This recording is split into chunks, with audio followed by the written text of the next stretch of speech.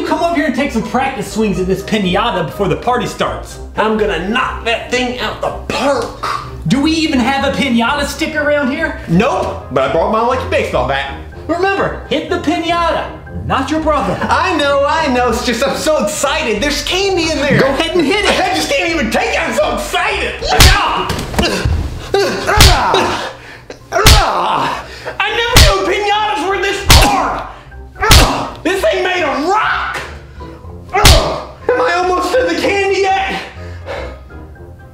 I know I am because you're not saying anything, and that means I'm getting close.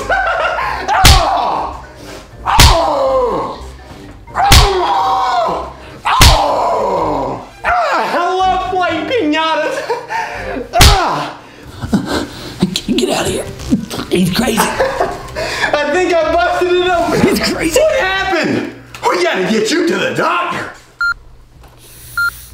Hey, buddy. You doing okay? No, no, what are you doing here? What are you doing here? You don't hurt me. Please don't hurt me. No, no, no, no. You didn't bring that baseball bat with you, did you? Oh, no, no. The police took it away from me for some reason. They're being weirdos. Okay, you can come in. Yeah, I heard the doc sent you home with that breathing machine. The doctor said they never seen somebody with so many upper body injuries. Oh, would you get off my back? This is all an accident and you know it. You promised me.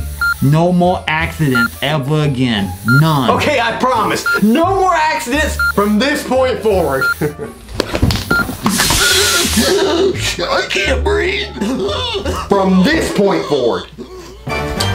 Have you ever been to a party with a pinata before? Leave a comment and let us know. Become part of the Jesse Mike tribe and hit that subscribe button. Check out more of our videos. There, down here, in the description, everywhere. The comment this week is by Adi. You guys are awesome. You both are the kings of YouTube. Thank you.